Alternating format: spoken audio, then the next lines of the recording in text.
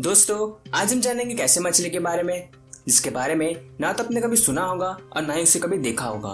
तो दोस्तों, आज हम जानेंगे कैटफिश के बारे में। तो इस मछली के बारे में जानने से पहले मैं आपको बता दूँ कि आप इस वीडियो को लाइक ज़रूर कीजिएगा, ताकि मैं इसी तरह से एनिमल्स के बारे में डॉक्यूमेंट्रीज बना सकूँ। तो चलिए शुरू करते हैं।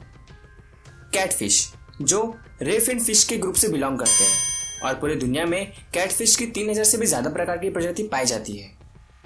और कैटफिश पूरी दुनिया के हर कॉन्टिनेंट में पाया जाता है, सिर्फ़ एंटार्क्टिका को छोड़ के। और वैज्ञानिकों के अनुसार कैटफिश की कुछ प्रजाति डियोर्नल है तो कुछ प्रजाति नॉक्टर्नल है। कैटफिश एक मांसाहारी प्राणी है, जो ज़्यादातर फ़िश इंसेक्ट्स वॉर्म्स फ्रॉक्स और न्यूट्स को कंज्यूम करते हैं। और समुद्र में कैटफिश का शिकार ज़्यादातर large fish birds reptiles mammals और ह्यूमंस करते हैं। और कैटफिश का शिकार ज़्यादातर उसके मांस के लिए किया जाता है। और कैटफिश अलग अलग रंगों में पाई जाती है और वो निर्भर करता है उनकी प्रजाति के ऊपर। और ज़्यादातर कैटफिश का शरीर एक बलगम से ढका हुआ है। और इसके अलावा कुछ प्रजाति कैटफिश की ऐसी है जो अपने शरीर के द्वारा सांस लेती है।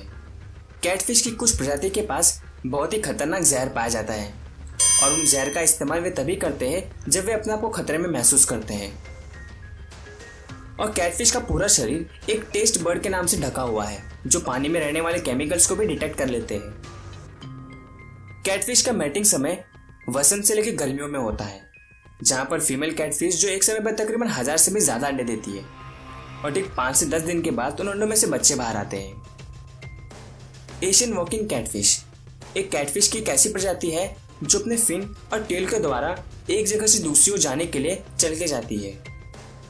वैज्ञानिकों के अनुसार कैटफिश की साइज़ और वेट निर्भर करता है उनके प्रजाति के ऊपर।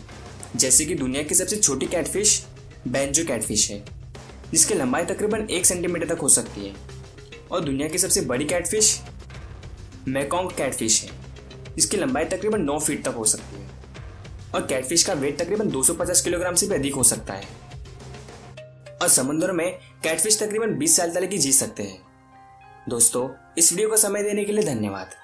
अगर आप इसी तरह से एनिमल्स के बारे में जानकारी प्राप्त करना चाहते हो तो आप हमारे चैनल को सब्सक्राइब कर लीजिए, ताकि आने वाली हर वीडियो की नोटिफिकेशन आपको सबसे पहले मिल सके। क्योंकि हम इसी तरह से एनिमल्स के बारे में जानकारी देते रहते हैं। और यह वीडियो कैसा लगा, हमें कमेंट बॉक्स में लिख के ज़रूर बताएँ। And yes friends thanks for watching the video